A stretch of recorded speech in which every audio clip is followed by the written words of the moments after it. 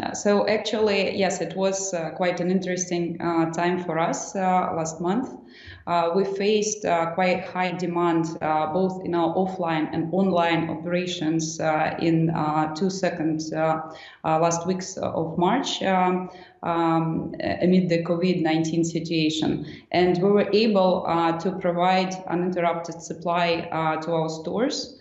Uh, so uh, I think uh, um, in April situation stabilized already, and we are just living in the new normal um, situation.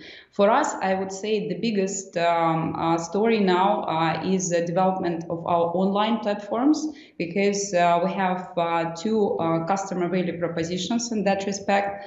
Uh, our online supermarket and also our express delivery from local proximity and supermarket store to the local residents.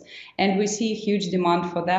For example, in our express delivery, um, number of orders only in February, because we just started this um, uh, type of uh, proposition, was at 600 per day, and now it's already uh, above 10,000 uh, per day. So um, um, the advantage um, is that we have uh, almost 16,000 stores uh, in Russia, and uh, we can, uh, in very flexible way, uh, roll out this model quite quickly uh, with our with our stores because uh, the picking of food is done by employees uh, within the store and then uh, is delivered by a courier to the local residents.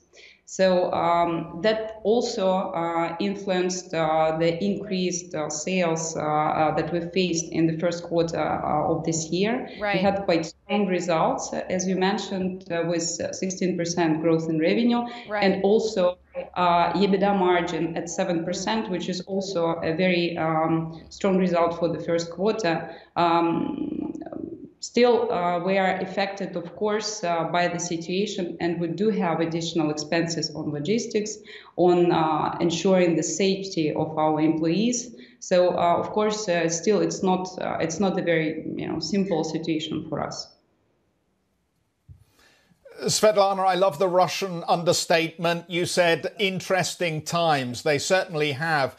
The, the challenge we've seen for a lot of uh, retailers like you in the West has been just keeping supply chains and logistical chains working effectively as you've seen workers go off sick and there have been other personnel issues and you've had to move to other channels to the consumer like home delivery.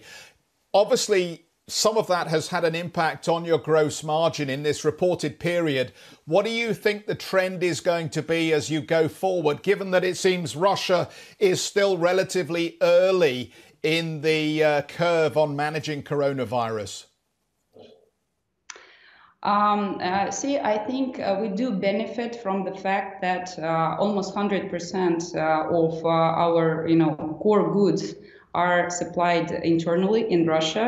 Uh, the share of imported goods is not uh, that significant, uh, and all you know core uh, product categories are domestic. Uh, that's why we don't have um, um, significant FX exposure, and actually even devaluation of ruble or um, decrease of oil prices uh, so far um, has not had significant impact uh, on our operations and on operations uh, of our core suppliers uh, in Russia. So um, I, I, think that uh, actually helped uh, in March to provide uninterrupted supplies to our customers.